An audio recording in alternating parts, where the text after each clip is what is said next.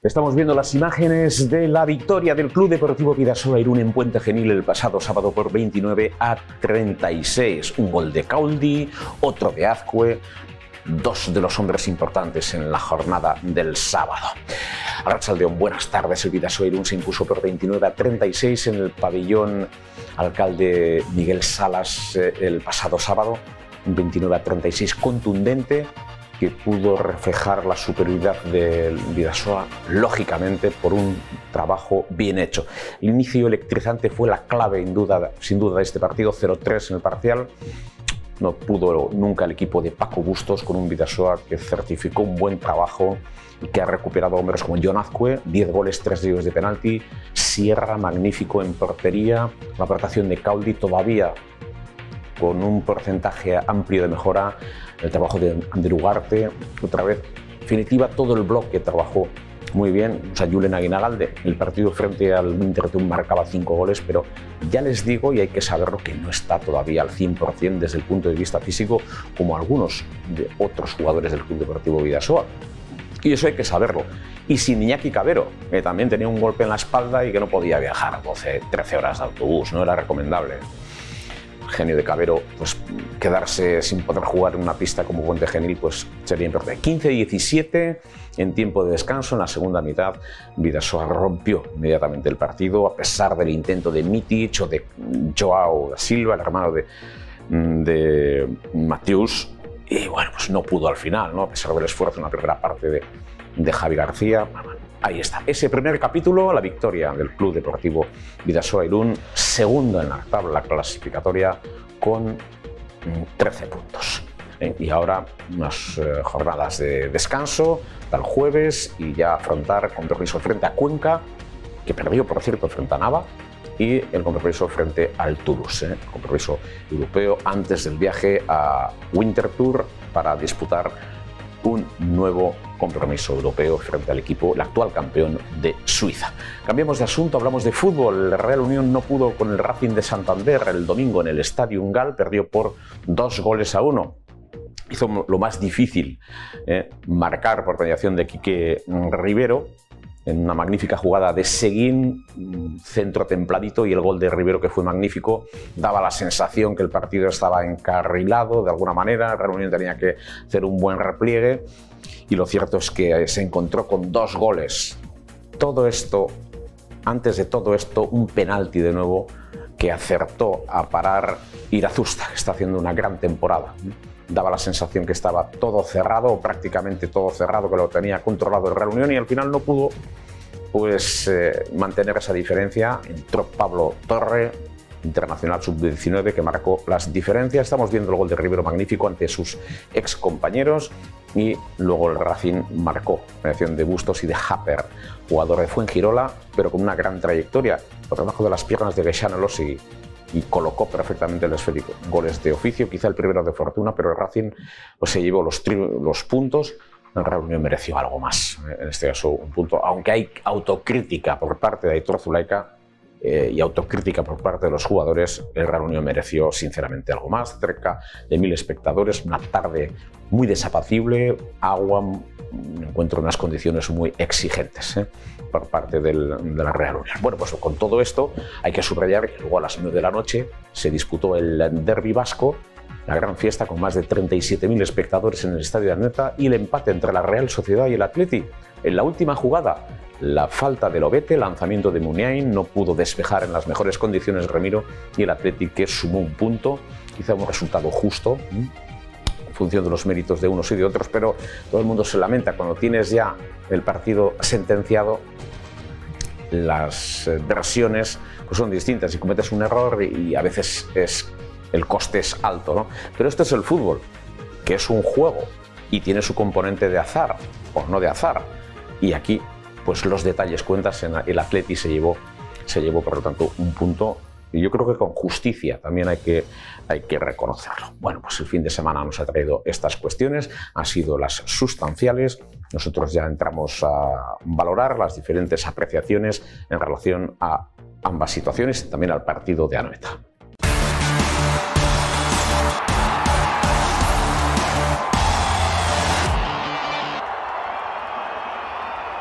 Pues el Vidasoa ganó el otro día, el sábado, en Puente Genil. El abrazo de sus balomanistas a la conclusión del partido con Sierra, que realizó un partido excepcional. Ya en Nava también demostró su calidad. Tenía además visita de su familia y bueno, estuvo muy cerquita. Y ahí está el abrazo de los jugadores del Club Deportivo Vidasoa Irún, que recobraron sus mejores sensaciones. Victoria por 29 a 36 en una pista difícil, ¿eh? Difícil. El año pasado mismo perdió el Vidasoa, salió muy concentrado, con un parcial de 0-3. Ahí estamos viendo a Claudio de Rozola, que realizó un gran partido. Y está al 70% todavía, ¿eh? todavía tiene secuelas de un desgarro del día del Barça, que hay que decirlo. Como también tiene secuelas todavía Julen Aguinagalde. Y se está recuperando todavía Julen. John Azcue, que hizo un gran partido. Dirigió al equipo como un gran maestro. 10 goles, 3 ellos de penalti, Sierra, que desempeñó un gran papel. Y no estaba Iñaki Cabero. Es que Iñaki Cabero tenía molestias en la espalda y no pudo viajar. Pues no convenía viajar. el equipo recobró sus mejores sensaciones, el orden. Bueno, pues había que Y no es fácil ganar en Puente Genil. No es fácil. Paco Bustos eh, reconocía en este caso la superioridad del Vidasoa. Un Vidasoa que hizo un muy buen partido, que venció y convenció en la mayoría de las facetas. Zavala, que fue solvente ante Álvaro de, Ita, John Azcue, el trabajo de Leo Rodrigo Salinas, Claudio de Rozola, Juno Mújica, que aportó lo suyo de nuevo, que hay, que hay que reconocerlo, hay que recordarlo, y el trabajo en defensa impecable, pero hubo en un momento determinado cambio a 5-1 también, siempre con, con Caudi en el avanzado, y otro capítulo, cuando situaron una eh, mixta sobre John Azcue, inmediatamente Jacobo tomó nota, hubo una sustitución, Adrián entró en pista y el equipo prácticamente no lo notó. Al final, para maquillar el resultado, un par de exclusiones que condicionaron el, marcador, pero poco más. Puente Genil fue inferior a un Vidasoa muy solvente en todos los aspectos en una pista siempre complicada y difícil. Suma en estos momentos 13 puntos, es segundo en la Liga Sacirra Sobalde balonmano y tiene evidentemente su mérito. Y ahora hay que disfrutar de, este descanso en estas tres últimas jornadas, porque los jueves vuelven al trabajo, recuperar fuerzas y recuperar de nuevo el tono necesario para afrontar el próximo choque frente a Cuenca en Liga, luego el desplazamiento a Suiza para enfrentarse al Winter Tour, pero antes también recibir al conjunto de Toulouse en competición europea. Vidasoa, como decimos, muy solvente en términos generales, consigue una victoria importante en Puente Genil, que no es una pista fácil, no es baladí en la tierra del aceite de oliva, es una de sus capitales mundiales, del membrillo dulzón, el Vidasoa endulzó, por lo tanto, su jornada y desempeña un gran papel. Un viaje largo, el de vuelta, casi 14 horas de viaje de autobús, pero con dos puntos se viene muchísimo mejor. Y hay que buscar la voz de los protagonistas. El otro día comenzábamos por eh, Jacobo Cuétara, evidentemente, había que buscar a Paco, a Paco Bustos eh, como referencia y teníamos a mm, John Azcue, Claudio Driozola también, como referencia del Club Deportivo Vidasoa Irún y buscábamos también en, el análisis general a eh, Mario Hernández, ¿eh? pero estaban Jacobo Cuétara, John Azcue, Claudio Trazola, Sierra, de un gran partido, Paco Bustos, el entrenador del Puente Genil, grandísimo pivote, ¿eh? bueno, el Barça, como todos ustedes saben, y Mario Hernández, nuestro analista, quien nos acompañó el otro día y vivió también una, fiesta del balonmano, del balonmano en Puente Genil, porque hubo un homenaje a todos los antiguos jugadores de Puente Genil, tanto en la categoría femenina como la masculina. Quisimos recoger ese, detalle también porque, por ejemplo, estaba Borrego, que fue jugador de Granollers y vencedor de la primera recopa para un equipo de la entonces Carlos Albert, era 1976, y el entrenador de ese equipo era Kini, que recibía el homenaje también de, la afición. ¿eh? Bueno, pues Buscamos todas estas imágenes, todas las voces de los protagonistas después de este choque. Bueno, una grandísima victoria por dos motivos. Uno, por conseguir una victoria antes del parón, que siempre es importante conseguir un buen resultado porque bueno, pues, eh, es la última sensación en la que queda. Vas a estar rumiando esa sensación durante 10 días y bueno, pues es importante verte arriba en la clasificación, eh, segundos a menos de momento hasta esperar el resultado de Granollers contra Benidorm, que será más tarde. Y, por otro lado, por conseguir una victoria en una cancha tan complicada contra un equipo pues, que está jugando tan buen balonmano en este comienzo. Ya el año pasado hicieron muy buena temporada y este año pues tiene la misma pinta, ¿no? Y bueno, pues es una cancha que va a ser muy difícil para todos y obtener dos puntos aquí pues tiene mucho valor. una, primera parte más equilibrada. Sí, eh, bueno, ya la primera parte a nosotros nos daba muy buenas sensaciones, el equipo estaba, eh, tanto en ataque como en defensa, incluso en transiciones. Y bueno, aunque la diferencia fue muy corta, eh, el equipo transmitía muy buenas vibraciones. Eso, mantenerlo en la segunda parte, eh, genera dos escenarios. Uno, que Puente Genil aguante el nivel de juego que estamos marcando nosotros durante 60 minutos, o dos, que se marque cierta diferencia. Porque si nosotros aguantábamos el nivel de la primera parte, sabíamos que, pues, que iba a ser complicado estar tanto tiempo tan acertado. ¿no? Bueno, hemos conseguido romper el marcador y bueno, en el momento que, hemos roto el marcador, pues ya hemos jugado pues, eh, mucho más plácido, ¿no? se generaron más espacios. Nos hemos sabido adaptar bien, como comentas, a los distintos cambios de, de sistema defensivo y bueno, pues eso suele ser una de nuestras claves en el juego y, hoy se ha Sí, muy sólidos, nos encontramos muy a gusto defendiendo. Cuando nos encontramos muy a gusto defendiendo también tenemos esa tranquilidad en ataque porque sabemos que tenemos digamos bolas extra y luego una gran actuación de Sierra en la portería que está haciendo un temporadón y bueno pues todo unido pues hace que consiga ganar de 7 una pista tan complicada como esta. Sí, comentábamos ¿no? el, arranque, los problemas que íbamos a, a tener el primer mes, mes y medio por jugadores que no tienen ritmo de competición. Así fue y ahora pues vamos cogiendo ritmo y hay jugadores pues que se están notando pues que están ahora en un buen momento de forma, ¿no? que lo van cogiendo y más el ritmo de competición. Y luego pues que no había esa compenetración entre dos partes del equipo porque los que habían jugado mucho no habían jugado con los que no habían jugado, ¿no? Valga redundancia. Entonces, bueno, ahora sí que ya tenemos el equipo mucho más compenetrado y bueno, pues eso se nota también en las rotaciones. Sí, se nota, ¿no? El ritmo diésel es con un rendimiento más alto. Se nota en las acciones, en el, vigor de la competición. Muchas veces es difícil eh, los altibajos emocionales después de un partido de Europa, eh, el relax posterior, volver otra vez a activarte para un partido tan seguido pero bien y el cansancio, pero bien es cierto que te da un ritmo de competición y, se está notando. ¿no? Eh, hace dos años comentamos aquí con, los medios de comunicación, nos decían cómo se nota con los ritmos, los equipos de Europa, cuando estéis en competición europea, ¿no? que dais un extra y, bueno, pues sois intratables. Bueno, pues eso ahora lo estamos notando. Llegamos en cierto modo frescos a este parón, veremos luego el último tramo, a ver si no se nos hace muy largo, yo creo que no, pero bueno, vamos a, a ver que tendremos muchos partidos de aquí en adelante.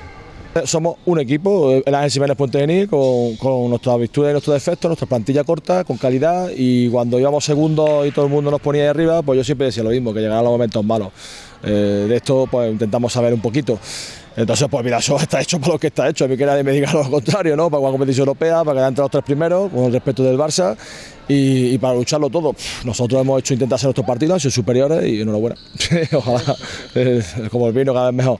No, está claro, ¿no? Nosotros hemos salido con mucha ansiedad, Sierra ha empezado parando mucho y luego cuando hemos querido meternos en partido ha tenido momentos puntuales de, grandes intervenciones y bueno, y cuando una defensa defiende bien y encima su portero para mucho es muy difícil, muy difícil ganar a un equipo tan bueno como Vidasoa. No, yo lo he visto siempre segundo o tercero. A mí no me habrá escuchado una declaración que no haya visto, la verdad no, es para engañarse, si es que está ahí. Yo creo que este año Barça va a quedar primero y ha, ganado de uno con Benidorm y, va a estar Vidasoa, Logroño, Granoller, va a estar ahí. Con Vidasoa para mí segundo luchando con, con Logroño. Nosotros eh, era una cancha complicada, un partido muy complicado porque eh, ya venimos de, de, la experiencia del año pasado, de cómo nos, cómo nos costó mucho esta cancha. Nos suele costar bastante, como tú bien dices, un equipo revelación que empezó muy muy bien. Es verdad que los últimos dos partidos pues quizá eh, no ha tenido el mejor resultado y, podrían estar un poco nerviosos también por eso, de, querer ganar. Y, nosotros pues nos hemos plantado muy muy bien en el partido, muy centrados, sabíamos que que teníamos que hacer un, último arreón antes de, antes de este pequeño parón. Y, lo que tú dices también, el, ritmo de Europa, que, aunque no puedas entrenar con asiduidad, pues te da, te da un puntito más, te da una velocidad más y yo creo que hoy, hoy se ha demostrado, ha sido un trabajazo de, de todo el equipo, arriba en defensa, Quillo en portería, yo creo que ha sido un partido redondo y, y, bueno, son dos puntazos que nos ha costado sacarlos adelante, pero que, que, seguro agradeceremos. El ganar aquí, creo que hemos estado siempre arriba en el marcador y, bueno, eh, hemos logrado dos puntos muy importantes antes del parón, que siempre te, te da más alegría no terminar con, con, una derrota. Sí, sí, sí, muy, muy psicológico porque hasta el siguiente día no, hasta el siguiente partido quedan muchos días, entonces bueno, eh, creo que trabajaremos mejor durante durante la semana del parón para, para afrontar lo que viene. Que, que, la victoria es muy muy importante, ¿no? Eh, es verdad que, que, es una pista muy, muy complicada. Eh, estaban yo creo que en un, en un, buen momento de forma y bueno, yo creo que hemos hecho un partido muy muy muy serio, ganando de siete goles. La segunda parte ya estábamos ya con, con una diferencia muy buena y, y bueno, yo creo que, que, el equipo pues vamos a más poco a poco, nos estamos conjuntando muy bien, los que hemos establecido pues vamos recuperando el nivel y, y nada, muy muy contentos. Sí, yo creo que, que es muy importante, ¿no? Al final, eh, cuando juegas fuera, que, no te metan goles fáciles, que, que, que intentes replegar bien y yo creo que, que en eso somos, somos muy buenos, el, todo, el, todo el equipo, en defensa también hemos estado bien, Sierra ha parado y, y luego pues, pues hemos estado con, con, la chispa esa, ¿no? que, que hemos podido correr, que, que hemos atacado bien y yo creo que, que, ha sido un partido muy completo. Sí, bueno, un, un partido muy, muy trabajado, sobre todo hay que, hay que destacar muy trabajado por parte tanto de la defensa como del ataque de Vidasoa. Un partido que en la primera parte ha estado más equilibrado porque Puente Genil aguantó muy bien el ritmo, un Puente Genil con una, con una poderosa primera línea, pero que la defensa de, de ha sabido adaptarse y, parar. Nos, hemos ido varias veces a cuatro goles, nos reducían a dos, pero, pero bueno, una primera parte un poquito más equilibrada, pero que siempre por delante hay, una segunda parte en que, en que Vidasoa ha, ha jugado mejor, ha, ha, tenido más, más calma, sobre todo en los, en los aspectos del trabajo de, de ataque, manteniendo una gran defensa y una gran portería con Sierra. Puente Genil ha intentado de todo, ha sacado un 5-1, un 4-2, un 3-2-1. Paco Bustos ha intentado todo, pero, pero Vidasoa estaba siendo mejor, estaba siendo más con más claridad llegando a las zonas, ha aprovechado muy bien las, las imprecisiones de ellos, hasta 3-4 balones han cortado por pases malos de Puente Genil, nos hemos ido ahí a 7-8 goles y ahí ha sido ya muy, muy complicado para Puente Genil.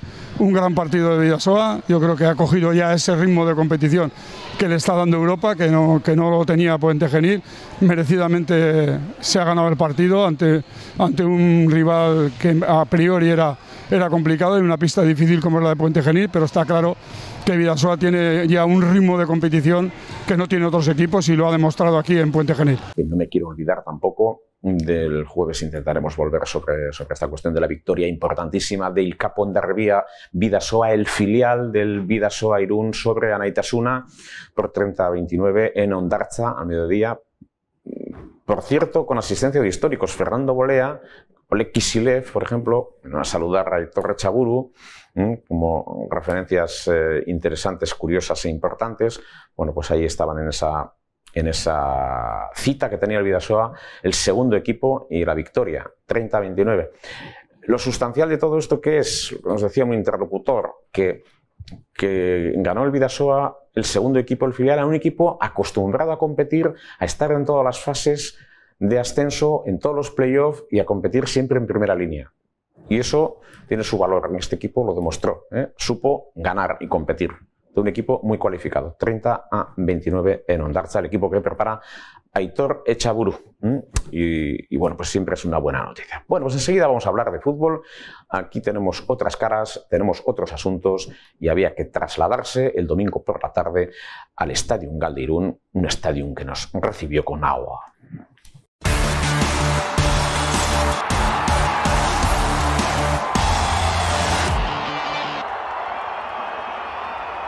Tiempo desapacible en el Estadio Galdeirún era el partido entre el Real Unión y el Racing de Santander, que concluyó con la victoria del Racing al final por dos goles a uno.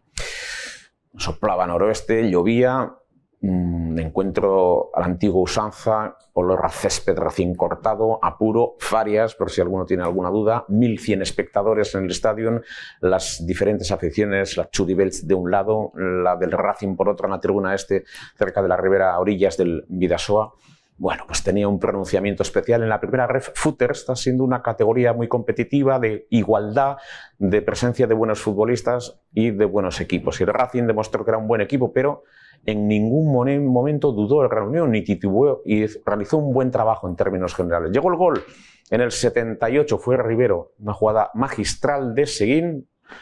El centro templadito, el remate de Rivero que superó al cancerbero Parera era el 1-0. A partir de ahí, nuevos registros, nuevas situaciones. Estamos viendo el abrazo de los futbolistas de la Real Unión, nuevos registros, nuevas situaciones, como tratar de mantener ese resultado. Bueno, con muchas dudas, Pradera le pidió el cambio a, a Zulaika, no estaba en las mejores condiciones, dudó Zulaika, él mismo nos lo decía en la rueda de prensa, creo que me equivoqué. Bueno, pues todo eso es relativo. Al final hay que tomar decisiones y el Racing aprovechó un balón en, una transición tras una pérdida, marcó un gol con cierta fortuna, pero el fútbol también tiene ese condicionante de la fortuna. Hubo un penalti previo a un gran futbolista internacional sub-19, Pablo Torre, que no salió de titular, pero que bueno, este chico va a terminar uno de los grandes. Eh, un penalti de Eric Ruiz e Irazusta, otra vez providencial, intervino. Había que sujetar otros 10 minutos. No fue posible porque Happer recibía en otra transición de Cedric o una asistencia el control del esférico dentro del área y marcó por debajo de las piernas de Geshan Elosegui, su oponente, y superó al cancerbero Irazusta. Victoria por 2 1. Y luego hubo otra jugada muy embarullada, pero ya no había tiempo para el empate. Un empate que desde nuestro punto de vista mereció el Real Unión en el Estadio ¿eh? lo mereció, pero el fútbol es determinante, los detalles deciden y es una categoría muy igualada. 13 puntos tiene Real Unión, lo décimo en la tabla en estos momentos y el próximo domingo compromiso en Madrid frente a la Unión Deportiva San Sebastián de los Reyes, campo de hierba artificial, mediodía, por lo tanto, madrileño para el Real Unión San Sebastián de los Reyes que cayó en Calahorra, muchísima igualdad en la categoría y un Real Unión que va a preparar con mimo ya desde mañana este choque en, el Estadio Galderón. O sea que estamos pendientes toda esta semana de una reunión, por lo tanto, que a ese nivel va a tener pues, un compromiso difícil en el campo de San Sebastián de los Reyes. Escuchamos a Aitor Zulaika, era especialmente crítico Aitor con, con sus decisiones, sobre todo al final. Lo que pasa es que las derrotas se escuecen. Y es verdad que la reunión quizá no mereció tanto castigo, pero es así y luego buscábamos al autor del, gol, pero antes a Irazusta, con una gran intervención, un gran partido otra vez Irazusta, y luego el autor del tanto, a Quique Rivero, el autor ante sus compañeros, también crítico, ¿eh? no hemos sabido ganar al final, pero bueno, el fútbol tiene estas, estas cosas. ¿eh? Es la referencia, por lo tanto, de los protagonistas en el Stadium Gal de, de. Claro, yo creo que ha sido, voy a hacer un poco, no, no voy a hacer la valoración de los últimos 15 minutos solo. Creo que, bueno, en la primera parte, tanto por un poco porque, bueno, nos han saltado un poco con los extremos, con los dos extremos, y el campo tampoco, tampoco ayudaba a tener confianza en la salida de balón, pues bueno, eh, se ha jugado bastante más en nuestro campo que en el campo rival, ¿no? Esa, esa salida de ese salto de los dos extremos, pero bueno, yo creo que en el descanso hemos corregido hemos corregido y bueno, en la segunda parte yo creo que estaba más igualado el tema, bastante igualado el tema. Eh, yo creo que la, la única forma de, de, que llegase el Racing a nuestro campo era mediante faltas un poco inocentes que hemos hecho, que las hemos hecho en nuestro campo y no en campo rival, donde hay que hacerlas. Y bueno, después del 1-0 mm, es difícil hacer peor las cosas a mí me ha entrado un poco la duda y asumo mi responsabilidad, evidentemente, porque según el gol Pradera me ha venido que estaba justito y ahí me ha entrado la duda de, cambiar de dibujo o, no cambiar de dibujo. Es decir, era acumular más gente atrás y defender un poco los centros laterales. Pero bueno, tenía dudas porque el campo estaba rapidísimo y tal, y si nos metemos en el área igual será peor. Ahora, después de visto, pues es evidente que, que, tenía que haber cambiado y soy el primer responsable.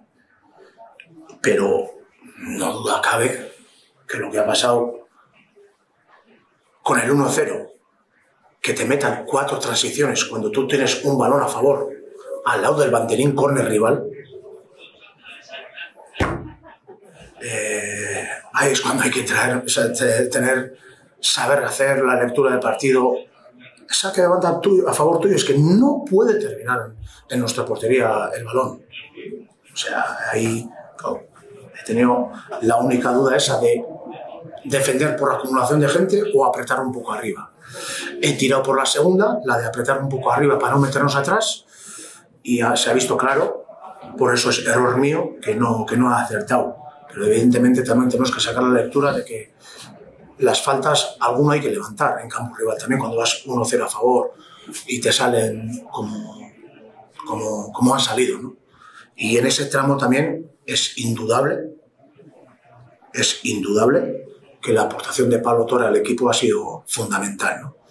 Ha sido un poco las dudas del míster, porque me había ido Pradera diciendo que estaba justito. Las dudas del míster, que la ha cagado, que no hemos sabido parar el juego donde había que parar, con el 1-0 a favor, que te metan en transición con 2 contra 2 arriba. Errores y luego, evidentemente, la, la aportación de Pablo Torre, que así como nosotros peor no podemos hacer desde el minuto 78 al 93, pues Pablo Torre casi mejor no lo puede hacer mm, desde que ha salido. ¿no? Y eso que el penalti que ha provocado lo han fallado, ¿vale? Entonces, eh, una buena lección para nosotros. Así es, ¿no? Creo que hemos entrado muy bien al partido, la verdad. 20, 30 minutos muy buenos en la primera parte. Luego se ha ido un poco hacia ellos, pero bueno, el partido estaba eh, bastante igualado y bueno, es cierto que en la segunda parte, pues eh, la verdad que no, hemos sabido matar el, partido, como se dice, ¿no? Después de, después de ese gol, pues eh, parar un poquito más el partido, sobre todo en, zona de ellos, y eso es lo que, lo que nos, ha, nos ha matado. Sí, es cierto que al principio pues eh, hemos hecho el juego que queremos, el, el campo pues aunque tenía lluvia permitía, ¿no? Y sí que en la segunda parte sí que, sí que se ha notado pues, que había que hacer otro tipo de juego. ¿no? Pero bueno, creo que nos, nos, hemos amoldado bien también a ese juego y, el, gol, el gol ha venido eh, así. Sí, creo que ha sido un partido, diría, de empate. Eh, y cuando nos ponemos nosotros por delante con el, con el gol no se nos puede escapar y menos, menos no conseguir ningún punto. Eh, y más, más aún todavía después de, de parar un penalti. Tenemos que haber jugado eh, de otra manera seguramente, habernos posicionado distinto, haber cortado antes, por ejemplo, la jugada del, del, del primer gol, creo. Hay que, hay que aprender de esto porque un partido así no se nos puede ir en la vida. Bueno, creo que ellos han hecho el partido que, que vienen haciendo todas las semanas. Eh, esperar a que el rival cometa fallos. En este caso, pues eh, han empezado a saltar con extremos, les ha ido bastante bien porque nosotros eh, no estábamos cómodos en salida de balón, nos fijaban por dentro. Eh, juegan, están jugando a eso, a, esperar el error del rival para, para coger con sus hombres de arriba en, en, transiciones. creo que no les ha salido demasiado bien, a nosotros tampoco, hemos, nos hemos contrarrestado bastante bien ahí. Y lo que te digo, después de, de ponernos 1-0 y parar el penalti, pues han aparecido individualidades suyas, pero demasiado fácil para, en mi opinión. Después del Estadio Gal, los aficionados se acomodaron en sus hogares para ver el derby vasco o alguno también se trasladó hasta la Real Arena, porque, ah, o el que tenía entrada, o el que tenía localidad, porque más de 37.000 personas acudieron a la Real Arena para presenciar el empate entre la Real y el Atleti, un partido de poder a poder, quizá de más emoción que de buen juego, pero al final la Real marcaba de penalti por mediación de Isaac y también el Atleti, a través de una jugada balón parado, a través de Muniain, conseguía el empate.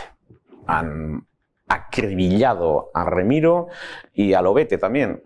Y está el debate ¿no? de cómo se puede provocar una falta cerca del área, porque el fútbol tiene estas cosas y es así. Y no hay, más, no hay que darle más, más vueltas. A veces nos centramos en ese tipo de críticas y lo cierto es que desde un pupitre, desde un estadio se ve relativamente fácil, hay que tener la continuidad para estar ahí en el campo. Y lo cierto es que el empate a nuestro juicio es justo, el Atleti eh, rocoso, eh, duro, eh, sólido, fiel a su estilo, hizo méritos para, incluso con 10 hombres, para, para no solo plantarle cara a la Real, sino jugarle de tú a tú una Real con más calidad, pero que no supo aprovechar sus opciones. Un Atlético al final pues, eh, hizo de ese lanzamiento de, de Muniain, pues eh, sacó muchísimo provecho. ¿no? Resultado nuestro justo, justo, ¿eh? como mínimo en el, en el derby vasco de, de primera división. La Real sigue siendo líder tiene en estos momentos 25 puntos y el jueves tiene compromiso europeo frente al Stone Graz. Antes hay que escuchar ahora la opinión de eh, Zubimendi y de Merino. Sí, se te queda una sensación mala ahora nada más terminar. Obviamente yo creo que el equipo no, no merecía este castigo eh, en el último minuto, después de todo el trabajo que ha hecho durante los 90 minutos ¿no? y todo lo que se ha esforzado y sobre todo la sensación que teníamos de tener el partido más o menos controlado, eh, pues bueno, es duro eh, encajar este golpe en el último minuto, pero hay que quedarse con lo positivo. El equipo sigue haciendo las cosas muy bien. yo creo que, pese a ser un derby, hemos hecho cosas eh, bajo presión, hemos hecho cosas que, que, estamos habituados a hacer y bueno, ya te digo, una lástima. Esto es fútbol, al final a veces te toca eh, ganar, otras veces te toca perder. Lo importante es que cada partido estés cerca de, de ganar. ¿no? Eh, hoy yo creo que al igual que en partidos anteriores hemos hecho cosas muy bien y ese tiene que ser nuestro principal, nuestra principal motivación, ¿no? el, el estar siempre el, con la balanza decantada hacia nuestro favor y luego el, el partido, el fútbol, las casualidades te, te ponen en tu sitio. Entonces hoy nos ha tocado eh, en una acción, pues bueno, eh, perder dos puntos, pero yo creo que hay que valorar el esfuerzo que ha hecho el equipo, hay que quedarse con, con las cosas buenas que hace y seguir hacia adelante con, con toda la motivación del mundo. Eh, ambientazo, 37.000, supongo que dentro se nota eso. Sí, muchísimo. Eh, la verdad que cada fin de semana eh, nos ayuda mucho, pero obviamente en un derby eh, pues, eh, es una sensación distinta. El equipo lo nota, la afición está encima, el, inicio de, del partido ha sido, ha sido brutal. Cómo, cómo, nos han animado, se te ponen los pelos de punta y, y, te ayuda ¿no? y te empuja a dar una mejor versión de ti mismo. Entonces, pues bueno, estamos muy agradecidos de, de todo el apoyo que nos están dando. Yo creo que nosotros también estamos dando motivos como para que crean en nosotros y, y bueno, nos den ese cariño en el día a día. Así que bueno, yo creo que es una combinación muy buena la que tenemos aquí en, en el Real Arena y, y ojalá la podamos mantener durante mucho tiempo. Minutu eta, eta serre, baina bueno, nik uste serre honek ba, minutu gutxi iraun bar digula, ze nik uste egindako lana oso da. Batez ere partida kontrolatua egon delako, baina bueno, egia da atzean sartu garela, eta atzean zaudenean ba, edozein, edozein akatsek e, horrelako istripuak sor ditzake eta ala gertatu da. Da, egia da azken molan, ba, gu ginela ba, golak sartzen zituenak azkeneko minututan. E, egia da ez, da galera gol asko sartzen, batez ere batu eta zero bat e, ari gara ira, ari gara baina, baina bueno, e, gerta daiteke azkenean ba hori, esan dutena, atzean sartzen zarenean, ba, edo zen akats, e, ba, oso, oso larria izan daiteke. Ni jokatu ditudan derbiak ba, errespetu handikoak dira, e, batez ere ba, zalen partidua delako, bai, bueno, Euskal Zalen partidua delako. E, e, errespetu hori notatzen da bai, bai barruan, da, da bueno, egia da ba, aukera asko ez ditula sortu, baina bueno, irura ordenetan ba, ibili gera hor saiatzen, baina, baina hori, ez de, bakarrik gol, gol bakarra gortu dugu. Zin giroa ezin hobea gaurkoa. Ba, esan diate gaur rekor historikoa izan dela, e, pasa bat, e, gainean ni natorrela zaleekin ba, partidu gutxi jokatzen, ba, rekord historikoa sentitzea eta, hor jokatzea, ba, kriston. Pues nos vamos. Eh, esta edición de Kirolak Garro concluye ya. Antes les digo que hay determinados medios que ya sitúan fuera del Villarreal a Unai Emery. Unai Emery es el miembro de la familia de Emery, protagonista, gran protagonista con Igor Emery de el Real Unión son dos cosas diferentes, pero que de alguna manera siempre tienen una interrelación. ¿eh? Les sitúa nada más y nada menos que un equipo, eh, en un equipo inglés, el Newcastle. es una noticia que se recoge en diferentes despachos en agencias. En cualquier caso, ahí le tenemos con un magnífico trofeo, ¿eh? conseguido otra vez con la competición europea de por medio.